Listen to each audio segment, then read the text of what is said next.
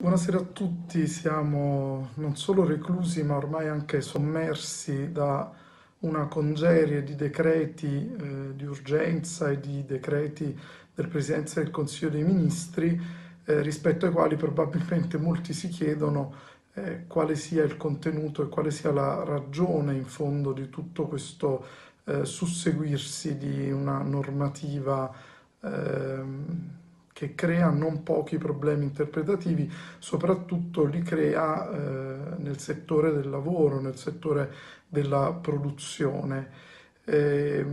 un breve flash eh, sull'ultimo decreto del Presidente del Consiglio dei Ministri che è stato approvato tra eh, grandi incertezze e resistenze da una parte delle, della Confindustria e delle associazioni imprenditoriali. Questo decreto del Presidente del Consiglio dei Ministri che cosa dispone? Dispone in primo luogo la sospensione di tutte le attività produttive, industriali e commerciali, salvo quelle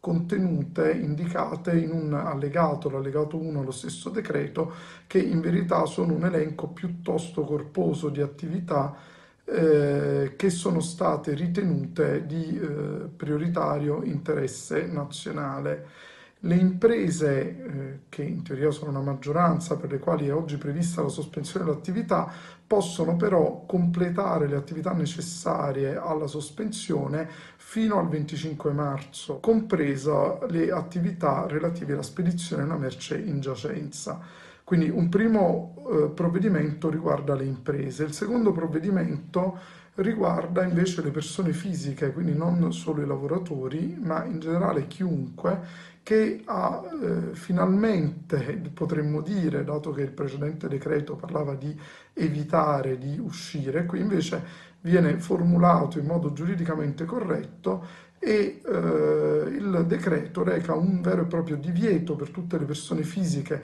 di trasferirsi o di spostarsi sia con mezzi di trasporto pubblici sia con mezzi di trasporto privato in un comune diverso da quello in cui attualmente si trovano. Quindi non quello di domicilio di residenza, non c'è più il diritto di far ritorno, ma c'è un divieto di muoversi dal comune nel quale attualmente eh, ci si trova,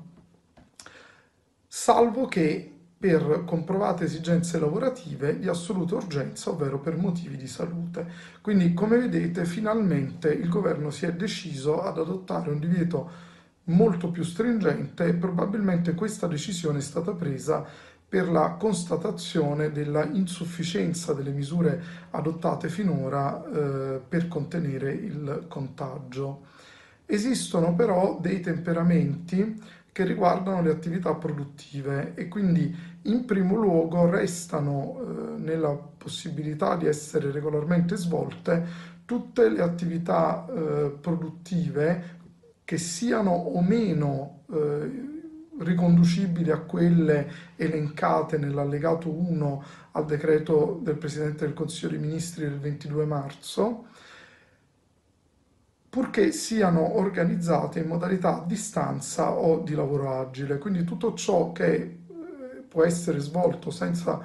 eh, implicare il movimento fisico dei lavoratori eh, continua a essere, diciamo, possibile, essere lecito. In secondo luogo, anche eh, sono, restano legittime, oltre le attività elencate, questa volta da svolgersi anche in presenza, pensiamo a tutto il settore manufatturiero nei, eh, per quelle che sono le attività indicate, elencate nell'allegato 1, anche tutte le filiere produttive che sono essenziali a queste attività elencate nell'allegato 1, nonché quelle eh, attività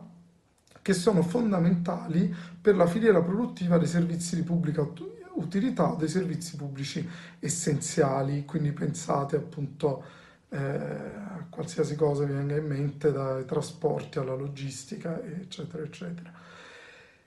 In terzo luogo, chiaramente, eh, le attività che erogano servizi di pubblica utilità, nonché servizi pubblici essenziali, possono essere svolte, restando comunque ferma la eh, sospensione eh, dell'apertura di tutti i musei e luoghi della cultura e dei servizi che riguardano l'istruzione se non siano erogati a distanza o comunque eh, da remoto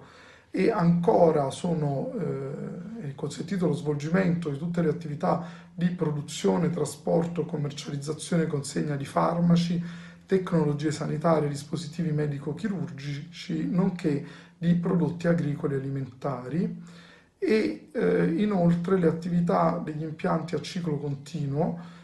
dalla cui interruzione derivi un grave pregiudizio all'impianto stesso o un pericolo incidenti pensate agli altiforni e infine è consentito lo svolgimento delle attività dell'industria dell'aerospazio e della difesa,